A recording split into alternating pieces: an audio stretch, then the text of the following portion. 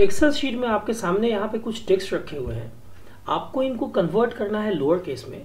बहुत आसान सा उपाय है। आपको यूज़ करना होगा लोअर फ़ंक्शन यहाँ पे आप लिखते हो इक्वल्स लोअर और इस सेल का एड्रेस पास कर देते हो, चूँकि इसी सेल में वो टेक्स्ट रखा हुआ है जिसको आपको लोअर केस में कन्वर्ट करना है।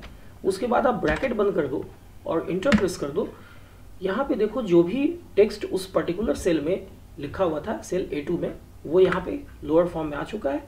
अब आपको सिर्फ़ इतना करना है कि फिल हैंडल का इस्तेमाल करके इसको नीचे की तरफ़ ड्रैग करके बाकी सेल्स में भी पेस्ट कर देना है। ये आपके सामने सारे टेक्स्ट जो है वो लोअर केस में आ चुके हैं।